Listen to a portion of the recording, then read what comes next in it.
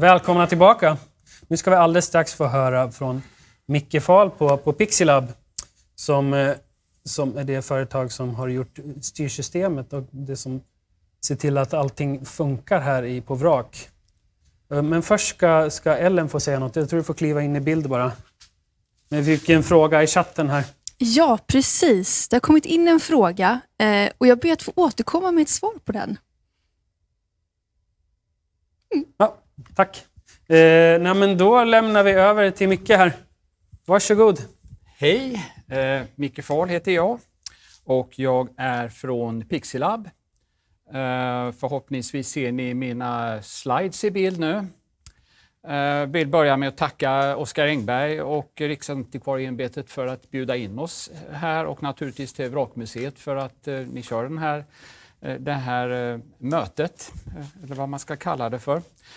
Jag tänkte prata lite grann om hur våran produkt som heter Blocks används här på Vrakmuseet och det kommer att bli en, en, en liten rundvandring bakom kulisserna så att säga, lik den som, som Odd och Marco och Ellen just tog er på här. Så att vi kör på rätt upp och ner här.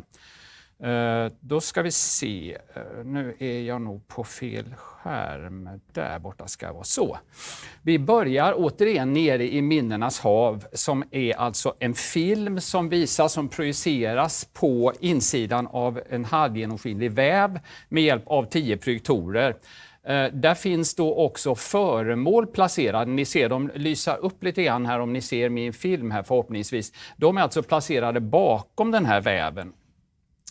De är osynliga under större delen av visningen eftersom belysningen där bak är släckt. Eh, men de belyses alltså med en stor mängd styrbara lampor. Jag vet inte hur många lampor det var, jag tror det var ett 70-80-tal någonting på de här föremålen. Och eh, vitsen med det är att belysningen på föremålen är synkroniserad med projektionen så att det ser ut som att dykarna som man ser i filmen med sina ficklampor lyser upp de här faktiska fysiska föremålen som befinner sig bakom den här väven. Så att det tycker jag är en, en, en, en bra, eh, ett bra exempel på integration mellan eh, fysiska föremål, rummet i sig och digital teknik som här blir ganska osynlig eftersom det är själva rummet i sig är den projektionsyta som används för att då ge den här illusionen av att besökaren befinner sig under vattnet. Blocks, då, våran produkt från Pixelab, används här för schemaläggning alternativt manuell start utav eh, de här olika eh, presentationerna som körs. Det är alltså två presentationer för det är ett språkval, så det är svenska och engelska och de är schemalagda lite olika beroende på vilken typ av besökare och besöksfrekvens som man räknar med bland annat under sportlov, eh, nej, jag säga, påsk, påsklov var det väl, så var det lite annat upplägg för att förvänta sig lite annan mix på besökare än vad man har normalt. Och då kunde man gå in och ändra schemaläggningen där eh, för att lägga tonvikt lite mer på, eh, kan jag misstänka här, svenska språket. Block styr också projektionssystemet som är en specialiserad mjukvara för avancerad projektion på eh, tredimensionella ytor som det ju handlar om här. Det är ju då tio projektorer som tillsammans täcker den här, den här, eh, eh, hela rummet på alla sidor, både tak och, och väggar.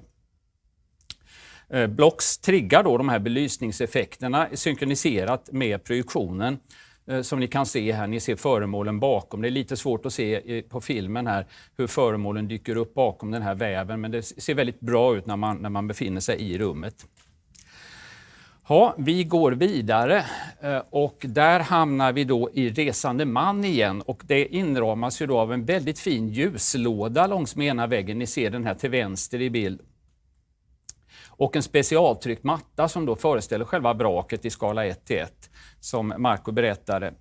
Eh, allt övrigt som händer i rummet här styrs av Blocks och det består i stort av åtta stycken glaskabinett med de här punktmolnen som Marco pratade om, som är en sorts man upplever det nästan som ett hologram, en typ av bild som svävar i det här glaskabinettet till synes i, i ingenting, men det är då eh, Eh, en sån här Peppers Ghost-effekt som består av en bildskärm som ligger i kabinettets överkant speglat i en glasskiva. Så att det inte är så, så tekniskt avancerat som det kanske ger intryck av. Eh, men här vill jag också passa på att ge en eh, eloge till Bruns i Holland för deras utsökta glasarbete. De har ju byggt upp i stort sett alla utställningar här på museet i den upphandling som gjordes och just glasarbetet. De har ett eget glas, glasmästeri där de har byggt de här grejerna och kört hit dem och det är väldigt fint och välgjort allting. Alla föremål här utom ett som Marco berättar ligger alltså kvar på havsbottnen och det gäller mycket annat här på Vrakmuseet, vilket ställer extra stora krav på tekniken eh, för att åskådliggöra vad det handlar om. Så att man, man utnyttjar, som ni kan se här, teknik för att visa föremålen som man då valt att inte ta upp eftersom de helt enkelt bevaras bättre där de ligger. När man närmar sig det här punktmolnet, det här hologrammet, eh, som besökare så växlar det från att visa föremålet till att visa en, en film på själva dyket eh, där man ser hur man eh, såg det här, hittar det här föremålet när man är nere och dyker. Så man ser både ur föremålets perspektiv och ur dykarens, eller marinarkeologens perspektiv här. Och det triggas av en osynlig rörelsesensor som är placerad i taket precis ovanför framför varje sån här glaskabinett som då via blocks går in och växlar film på den här, den här Peppers Ghost-effekten som projiceras via den här 45 graders vinklade glasrutan här. Dessutom så finns det styrbar belysning. Alla de här kabinetterna här har belysning både inuti sig och en belysning ner mot mattan som då belyser själva föremålet som på mattan finns rakt under det här glaskabinettet och de styrs då med, med en standard som heter DMX 512 ifrån Block som är en sån här standard ljusstyrningsprotokoll eh, som det heter. Eh, Eh, det finns också ett ställe där vi har en sån här deep zoom image som är en väldigt, väldigt högupplöst bild där man kan zooma in på enskilda detaljer i vraket och panorera runt på det här viset. Eh, där finns också en film i anslutning till, eh, till eh, skeppet Resande man här, där den här Bjugg som ni såg på tavlan förut berättar lite grann om vad som hände. Och där, det är också två språk där och det är en synkroniserad nedräkning så man vet när nästa film på ett, ens eget språk kommer att spelas där. Ja, vi går vidare upp på övervåningen och då kommer vi in i den delen av utställningen som kallas för Det delade havet. Där har vi eh, en, en ganska, tycker jag, kul grej med lite föremålsinteraktion. Det brukar ju vara så på museer när man går omkring att det står “rör ej föremålen”, vilket är till stort förtret för alla barn då framför allt, som gärna vill pilla och greja lite. Men här står det en liten skylt “rör gärna vid föremålet” står det. Och när man gör det, till exempel på det här renhornet som besökaren eh, tar i här, då spelas en film upp som berättar storyn lite om det här renhornet, var det hittades, hur det fraktades över Östersjön och eh, hur, var det hittades sen som en del av det här vrakfyndet. Och då har man alltså eh, berörelsesensorer som är kopplade eh, till de här föremålen som känner av att man rör vid föremålet med en liten signal som går ner, går in i blocks och då triggar rätt film på den här projektionsduken bakom här som ni ser. Sen kommer vi till eh, vad som är min favorit tror jag och även eh, som även eh, om det var Oskar eller Ellen som tog upp den, Oskar var det nog förut, eh, den här som eh, populärt kallades för familjefejden. Jag tror den har ett finare namn egentligen, men den handlar alltså om eh, ja, olika svenska kungar och hur de gifte sig kors och tvärs och lite så här. Och det tycker jag är ett jättefint exempel på integrering av rummet med dess föremål och tekniken som här blir nästan helt osynlig. Eh, det är då ett möblemang i form av lite tavlor och ett bord som ni ser här i bild. De här svarta tavlorna bakom och bordet och stolarna runt. Eh, och det, det är en väldigt rolig story som eh, eh Expology har hittat på i likhet med väldigt mycket här på museet eh, vad jag förstår rent storymässigt och, och presentationsmässigt. Um, och eh, där gör man då vad som kallas för projektionsmappning direkt på uh, bord och stolar från Blocks med hjälp av tre projektorer uh, som sitter en ovanför ner på bordet och sen så uh, en projektor i varje hörn som projicerar i kors så här. Och det innehållet har då producerats direkt på en 3D-modell av det här möblemanget och eh, och, tavlorna. Och sedan har man renderat ut det som filmer från tre kamerapositioner som motsvarar projektorernas position. Sen använder man blocks för att helt enkelt spela upp i, i synkron, synkron, synkront spela upp det här, de här tre filmerna via de här tre projektorerna samtidigt. Man har också flerkanaligt ljud. Det är fyra ljudkanaler, två stereopar från två av de här tre spelarna som går ut i högtalare i, i, i de fyra hörnen i det här rummet. Man styr även en lampa, kanske lite subtilt här, men det är en viktig den lyser på ett viktigt dokument som en del av den här storyn som inte ser i bild här tyvärr. Det är till vänster i rummet och också den styrs med DMX512 synkroniserat ifrån blocks då, synkroniserat med rätt punkt i, i filmen. Här finns också en liten teknisk anekdot, ett språkval Eh, man har två språk här, ni ser pull to select language. Så var det inte från början. Det sitter faktiskt fortfarande kvar ett par avståndssensorer fram, under det här bordet där man kunde känna av när en person ställde sig på en viss punkt på golvet. Eh, så att det var två markörer, en för engelska och en för svenska och där skulle man ställa sig då på ett visst ställe för att, för att eh, trigga det språket och det fungerade bra rent tekniskt. Eh, problemet är ju bara det att när det är mycket folk i rummet och folk går omkring lite huller om buller så triggar man naturligtvis när man inte riktigt har tänkt sig att göra det eftersom folk inte funderar på de där markörerna i golvet. Så att det funkade inte sådär jättebra. Men eftersom man hade ett eh, styrsystem då, som är lätt att programmera om och göra justeringar så satte man istället upp två vanliga strömbrytare i taket med såna här snören då, som, man kan, som man kan dra i, som ni ser i bild. De hänger och dinglar här på ömse sidor, en för svenska och en för engelska. Eh, lite i stil med, om ni eh, eh, lika, som är lika gamla som jag, minns familjen Adams när han drog i det här rör, snöret och den här långe betjänten kom ut när han drog. Lite den, den känslan är det på det. Man drar i snöret och så händer det någonting. Ja, eh, sen så kommer vi närmar, närmar vi oss slutet av eh, eh, utställningen här uppe på övervåningen nu och där finns det ju eh, ett antal visualiserade 3D-skannade föremål.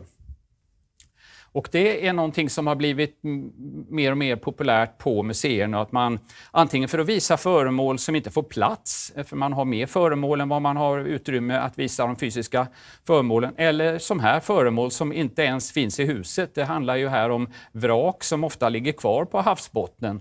Och eh, enda sättet att kunna vrida och vända och titta lite på dem, det är ju då att ha en sån här tredimensionell avbildning, eller skann som det kallas för ibland, Eh, och den kan man då plocka in, i det här fallet i blocks, eh, eh, som är, även då används för att göra den här typen av interaktion. Och om vi hinner med så ska jag visa lite grann hur det går till, tänkte jag sen. Och här som ni ser kan man vrida och vända lite på det. Det finns också lite klickbara markörer på föremålen som man kan peta på för att få information om vissa delar av, av föremålet. Då. Och det kan då spela upp en film eller visa någon text eller någon närbild på någonting. Eller kanske rent av, om det är så att det fysiska föremålet också finns i rummet, att man, när man då rör den punkten så kan man belysa motsvarande punkt på det riktiga fysiska föremålet. Eftersom alla signaler går via blocks och blocks hanterar belysning, ljud, ljus, bild, projektion och allt det här så är det väldigt lätt att göra korskopplingar på det här viset mellan mellan någonting fysiskt man gör, något som händer i bild, något som händer med ljuset, något som händer med ljudet och så vidare. Eh, på samma vis kan man använda panoramabilder. Eh, det tänkte jag också visa. Vi har inga sådana här på, på eh, vrak än, men vi har på Spårvägsmuseet som är ett annat nytt museum som öppnar, jag tror om en vecka ungefär här uppe i Stockholm. Där används de här panoramabilderna för, som ett sätt, ungefär likt det här 3D, men istället för att ha ett föremål som man snurrar framför sig så går man in i, en, i ett rum eller en miljö och så kan man vrida och vända och titta åt olika håll så här uh, i det rummet. Och även där kan man då ha såna klickbara ytor som antingen tar en till andra platser i rummet eller som kanske lyfter på ett föremål. Jag ska ta och visa lite om hur det fungerar också. På Spårvägsmuseet använder de den här tekniken för att eh, bland annat låta besökare gå in i vagnar som är alltför ömtåliga, alltså såna här spårvagnar och äldre såna här vagnar som är alltför ömtåliga för att gå in i på riktigt, textilier på möbler och såna här grejer. Eh, men då eh, så har man vagnen framför sig, man kan gå runt vagnen på utsidan, men man kan då gå in i vagnen via den här, den här panoramamiljön och också klicka på vissa delar i vagnen och, och komma närmare dem eller titta närmare på vad som händer där. Eh, jag tror att även... Nej, vi tar det sen. Um, vi ska se. Ja, Spårvägsmuseet som sagt är också värt ett besök. Jag har inte hunnit dit själv än, men det är också det är helt uppbyggt med hjälp av Blocks för, som teknisk plattform, både för, för interaktivitet och för allmänna styrfunktioner, bildytor och, och, och annan, andra styr, annan styrning som används där. Ja, det var väl ungefär vad jag hade förberett i form av slides. Um, så att jag ser att jag har lite tid på mig. Ja, du har fått en fråga faktiskt i chatten från Fredrik här. Vad använder ni för hårdvara till Blocks för att ta in datan till, från sensorerna, styra DMX-system, projektorer, ljud och hologrammen? Ja, eh, det var ett antal frågor i en där. Vi ska se om jag kan bena upp det. För det första hårdvara för att ta in signaler. Det kan ju vara lite olika. Är det bara en kontaktslutning, eh, någon, någon, typ av eh, rörelsesensor eller någonting sånt där, då går man in med en, någon typ av digital ingång. Och där har vi stöd för en, en industristandard som heter Modbus bland annat och det finns även lite andra typer av såna här digitala ingångar där man kan ta in en kontaktslutning. Sen har vi ju då, man har ett, ett, ett mer variabelt värde, en temperatur eller ljusstyrka eller någonting sånt som man har, ofta har i rummet. Man behöver anpassa någonting över infallande ljus eh, som man har uppe i den här lokalen. Vi har ingen sån sensor här, men jag ser ljuset här i andra änden av lokalen och tänker att det är ofta den typen av utmaning. Där kan man också ta in den typen av analoga ingångar via Modbus, Det eh, är nog det mest populära sättet. Um, sedan vad det gäller styrning då, eh, om man går över på det eh, för eh, ljusstyrning, till exempel DMX 512, då har vi stöd för ett nätverksbaserad variant av DMX 512 som heter ArtNet. Och man kan sedan då brygga från ArtNet med hjälp av en liten dosa som går från ArtNet till DMX 512 XLR-kontakt och standard. Uh, var det någon mer delfråga där? Eller? Mm. Projektorer, ljud och hologram? Ja, projektorer och ljud och hologram. Ljud och projektion hanterar vi då direkt ifrån Blocks. Och det, vad det gäller projektion så är det ju två delar där egentligen. Det ena är ju själva uppspelningen av videon och där använder vi Eh, skulle haft en liten bild här egentligen på behind the scenes pratar om här. Eh, eh, skulle ha tagit en bild för vi har så fina installationer här på Vrak som är gjorda av ett företag som heter Atatech som jobbar tillsammans med Bruns då, som har gjort eh, eh som, som, har byggt utställningarna här. Eh, och då använder de små datorer, ungefär så här stora, som kallas för NUC, en liten fyrkantig kloss och det har vi en eh, egen programvara till som heter Pixelab Player, en gratis programvara. Så man köper en sån här NUC och sen installerar man eh, gratis Pixelab Player på den och sedan så eh, kopplar man in den i Blocks genom att koppla den till nätverket. Så att det är den ena delen. Den andra delen om man snackar projektion, då, det är ju styrning av själva projektorn. Och det det handlar om där det är ju ofta väldigt basala grejer. Slå på den på morgonen, slå av den på kvällen. Kanske växla ingång om projektorn ska ta en signal från något mer eh, ställe eller någonting sånt där. Um, så att, eh, och sen bildskärmar, ja det är lite samma sak. Uh, ofta så är det ju, matar de en bild då från en sån här uh, liten nuck och ibland slå av och slå på strömmen. Här på museet vrak så löser de delvis det här med att slå av strömmen genom att de helt enkelt stänger av i princip hela huset varje kväll och då slocknar ju allting så att säga av naturen. Ja, förhoppningsvis han jag svara. Jag har ett par grejer till så vi kanske håller om det är någon mer fråga till slutet av snacket. Ja, ja, visst. Mm. Så hinner jag visa lite grann. Nu ska vi se, nu är det lite utmaning för mig att lyckas göra det här eftersom jag har en skärm här framför mig Ehm, och sen så ska jag visa det på någon skärm som ni ser och den ser jag i en, eh, på, på en extern bildskärm här som har lite fördröjning på sig. Men jag ska ändå försöka få det att fungera. Där ska ni få upp en panoramabild. Ligger den i bild? Ja. Och här ser ni då en sån här tredimensionell panoramamiljö. Då. Ett, ett foto egentligen som är taget eh, på ett lite speciellt sätt Eh, som man kan göra antingen med speciella kameror eller med en vanlig mobiltelefon med en speciell app som kan ta bilder på det här viset som, eh, som är runt om bilder. Och då ser ni om jag tar tag i den här bilden så kan jag snurra och vrida och vända på den lite grann. Så jag kan titta bakåt i rummet. Jag kan zooma in på delar av rummet, eh, på, på föremål och så här. Um, se om jag om jag lyckas hitta min pil här på lite håll. Här har vi ju då en, en dödskalle till exempel. Eh, jag kan zooma in lite grann på den som ligger på bordet och så har vi lagt en sån här liten markör runt den så man ser att det här är någonting man kan klicka på. Gör man det så kommer man in till ett 3D-föremål istället. Och då kan man vrida och vända på den som ni såg på filmen förut när vi vred och vände på en ubåt. Men här är det då ingen ubåt utan en, en dödskalle.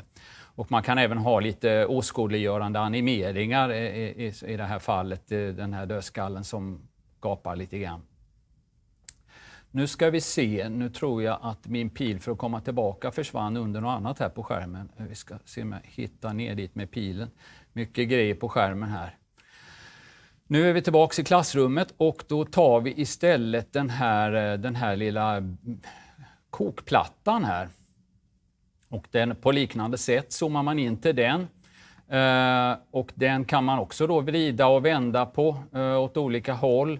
Man kan zooma in även här då eh, på någon del. Man kan också ha direkta knappar som går till antingen som går till den här, eh, den här pumpen då som även den är lite animerad då för att förklara hur den fungerade. Eller till den här brännaren som sitter i uppkant här. Och så ser ni också att det finns de här små markörerna då. Så att om man klickar på någon av de här markörerna, till exempel den här brännarens markör, då kan man få upp en en mer eh, detaljerad förklaring av den och det här kan man då ha en bild som vi har här eller en film eller eh, någonting annat som man kan göra i Blocks. Eh, så att allt, hela den här interaktionen är då direkt uppbyggd i Blocks inklusive 3D-föremål och de här panoramabilderna. Och så, här. så att det här är väl kanske ett ganska gott exempel på hur man kan bygga interaktion med hjälp av Blocks. Vi kan välja den här fyll, påfyllnings ja, vad ska man kalla det för, locket här eh, och få läsa lite grann mer om det. Ja, um, det var lite om 3D och panoramabilder. Eh, innan jag slutar prata så ska jag eh, prata om en grej till, tänkte jag, som inte alls finns på vrak, men som finns på eh, Spårvägsmuseet som jag nämnde förut och jag tror även att det är på väg in på Sjöhistoriska, vilket ju är ett, ett eh, systermuseum med vrak. Eh, och då ska vi se om jag kan få upp den bilden här. Det är som sagt lite utmaning med alla bildskärmarna här. Och här ser ni då hur Blocks ser ut. Det här är själva gränssnittet till Blocks. Eh, där man då producerar och bygger upp de här interaktiva grejerna, styrfunktioner och allt sånt där. Det här är inte vrakmuseet ni ser här som ni ser utan det är lite diverse annat jox som jag har på min egen dator här. Eh, och man kan ju då köra blocks på eh, antingen på sin egen laptop som jag gör här eller så kör man det på en server som de gör här på, på Vrakmuseet. Men nu tar jag och byter innehåll genom att dra över det här och då är det någonting helt annat vi kommer att få se här. Här ser vi en grid med eh, bilder på små modellbilar. Eh, den kan man scrolla med lite fram och tillbaks och så här. Men vad som är lite intressant med den här är att den är inte uppbyggd i blocks som allt annat som ni, har, som ni ser här. Utan här plockar man innehåll direkt från en föremålsdatabas som i det här fallet finns på eh, ett, eh, ett museum i Australien på andra sidan jordklotet alltså, men det gör ju inte så stor skillnad numera med internet och snabba kopplingar och sånt där. Eh, så att här kan man då eh, intressera sig för en bil. Vi ska se om jag kan se min muspil. Här nere har vi en liten fin bil till exempel. Och då kan man läsa lite mer om den här och man kan då bläddra bland lite flera bilder som man kan se på den här. Och vad som är elegant med det här är att man ju då inte behöver, ska vi se nu försvinner min lilla pil här bakom, jag ser om jag kan backa tillbaka. Man behöver då inte lägga in allt det här manuellt i blocks, en bild efter en bild, utan man bygger upp det här på ett mallat sätt och sen så hämtar man både texter, rubriker, benämningar, bilder från den här föremålsdatabasen och visar det direkt i Blocks. Och det gör ju också att det är väldigt lätt att med samma upplägg kanske visa en annan samling. Så i det här rummet snackar vi modellbilar, i det här rummet snackar vi kikare eller optik eller någonting sånt där. Då kan man använda precis samma upplägg och bara peka till en annan del av den här föremålsdatabasen och då blir det dess bilder och dess texter som dyker upp på exakt samma sätt. Så det är ett väldigt snabbt och smidigt sätt att exponera eh, mycket data eh, utan att behöva sitta och så att säga göra om det om man då redan har lagt in det i en föremålsdatabas, vilket jag vet att många av er som jobbar med det här dagligen ju gärna gör.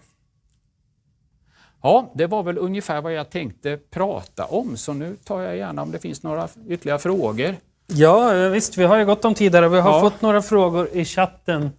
Eh, vi ska se.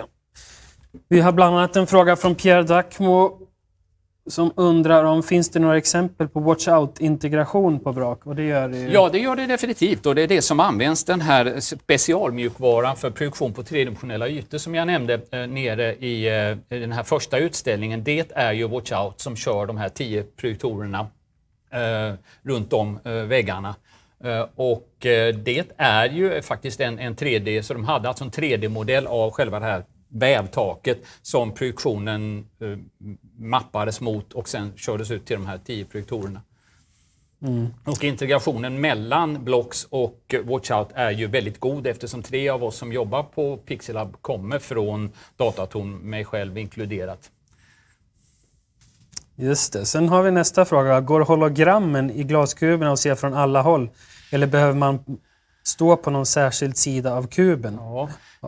Det, det, är ju inte ett hologram egentligen, men det Nej. ger det intrycket lite grann. Men det är ju då en bild som visas på en, en plan bildskärm som ligger i kubens överkant. Sen sitter en 45 graders glasyta som speglar den här bilden så att man ser den ju egentligen bara rakt framifrån. Man kan inte gå runt glaskuben. Det vore väldigt häftigt, men jag vet inte om sånt finns på riktigt, bara i filmer. Ja, riktiga hologram finns ju. Det, det, finns väl varianter, men jag har inte sett något Nej. i färg riktigt.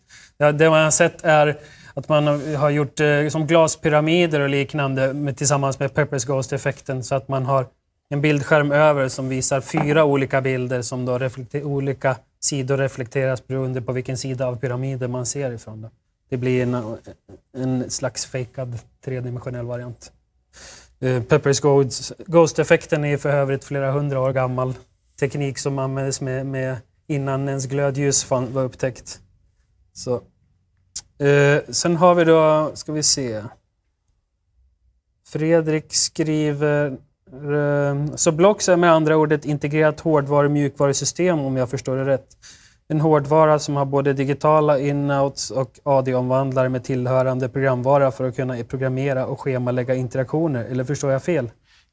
Ja, både ja och nej. Blocks är ett, ett program som körs på en dator som ofta är en av server kaliber. Sen finns det då de här olika typerna av digitala och analoga anslutningar men det är ingenting som vi själva tillverkar utan där använder vi ju standardprylar. Då. Det var därför jag nämnde den här standardbussen som heter Modbus bland annat förut som är ett sätt att ta in både analoga och digitala signaler, även skicka ut sådana förresten.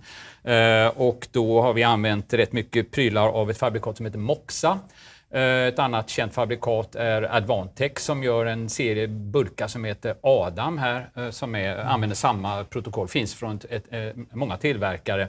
Så att vi gör alltså ingen egen hårdvara. Det händer ibland att vi levererar själva servern som Blocks körs på. Eh, dock inte här på Vrak utan här kör de det i en virtualiserad servermiljö. De har ju en, en fin egen IT-avdelning som hanterar sånt där med bravur så att de har, kör det på, på en, en, virtuell server i en, annan, i en annan byggnad faktiskt till och med än, än här på Vrakmuseet. Ja, tack. Uh, Ville på uh, Sveriges historiska museer undrar, har ni använt el och backpack, Android Player? Det är ett alternativ till NUC. Ja, inte just den, eh, den, det fabrikatet har vi inte använt, men Android-spelare är ganska vanligt förekommande. Bland annat så har vi kört, eh, du nämnde Elo, du, du, Backpack känner jag inte till, men Elo eh, har vi ju använt deras skärmar. Mm. och de har ju en skärm, eh, ofta kan man ju välja, jag tror de har skärmar med både Windows och Android. Och där har vi kört deras Android-variant Eh, med en programvara som heter Fully Kiosk eh, som ger en sån här fullskärms webbläsare som egentligen är vad vi vill ha eh, för att det ska fungera bra med Blocks. Så att Blocks är ju helt webbaserat i grunden så i princip vad som än är en webbläsare kan man peka mot Blocks mm. och göra de här typen av, av grejer. Sen om den webbläsaren körs på våran Pixel Player eller om den körs på Android eller det finns också smarta skärmar från Philips, eh, LG, Samsung, Eh, någon har jag säkert glömt som har inbyggda spelare som också är baserad på webbteknologi. De går också att använda tillsammans med Blocks. Ibland med lite varierande prestanda. De, hårdvaran i de här skärmarna är inte alltid jätte, jättebra men för, förutsatt att man vet vad man vill visa för material och man har provat det. Bland annat det här Östergötlands museum som öppnar nu på lördag nere i Linköping kör nästan uteslutande med Samsungs digitala skärmar med inbyggda spelare. Och som sagt, så länge man vet vad man gör och man provar innehållet på dem så funkar det alldeles utmärkt. Mm. Många museer har ju länge använt Brightsign också. Det funkar på Brightsign-spelare Ja, det fungerar på Brightsign-spelare också. Det gör det. Eh, det, också samma där med vissa begränsningar kring framförallt vad man kan göra avseende video. De har lite begränsningar i sin HTML-miljö då vad det gäller eh, videouppspelning. Men samma sak där, om man vet vad man vill göra, om man kan prova det i förväg och se att det funkar så är det väldigt robusta och pålitliga spelare. Ja. Jag la upp en bild där i chatten också på rummet intill här. Där kan ni se en installation med ett antal sådana NUC-datorer. Uh, sen har vi en fråga till från Pierre. Där. Hur många blockservrar används på Vrak? En. Mm. Och någon backup-server också? Eller? Det, det gör de nog inte här mm. eftersom de har en egen IT-avdelning och kör servern virtuellt. Så att mm. skulle den servern gå dö så lyfter de över den på en annan maskin och skrämmer liv i en ny helt enkelt. Annars mm. så har vi en lösning som är en hårdvarubaserad lösning som går ut på att man har två blockservrar eh, i, i sin rack. Där en är den som används och en är en speglingsserver som hela tiden har, har en uppdaterad kopia av innehållet på huvudservern. Skulle huvudservern gå dö eller hårddisken i den eller nätaggregatet eller något annat så flyttar man över licensnyckeln och nätverkskopplingen till backupservern och så är man tillbaks på en minut igen med, med fungerande system. Så det finns bägge de här lösningarna. Eh, någondera av dem är väl att rekommendera om man gör som här på vrak, att stället mer eller mindre bygger på att tekniken fungerar. Och man vill inte gärna vara utan en vecka om, om man skulle behöva beställa en ny server eller någonting sånt där. Mm. Mm. Men, men Blocks är inte internetberoende, däremot är det väldigt nätverksberoende. Så. Precis, det är inte internetberoende om det då inte är så att man hämtar innehåll utifrån som det här exemplet jag visade med den här databasen i Australien. Då är man ju naturligtvis beroende av att internetkopplingen ner till Australien fungerar. Eh, men Blocks i sig är ju då inte internetberoende om man kör den på en lokal server som, som man ju gör här, inte lokal i huset men en bit upp i backen här. Mm. Men så att, det, att ha tråd, köra stationerna trådlöst är inte att rekommendera antar jag? Eh, det... Det, det förekommer att man gör det. Mm. Eh, då gäller det naturligtvis att ha lite koll på sitt trådlösa nätverk. Att man kanske inte är på samma nätverk som 500 besökare hoppar in och ska titta på Youtube samtidigt. Mm. Utan man har ett eget trådlöst nätverk med känd bandbredd.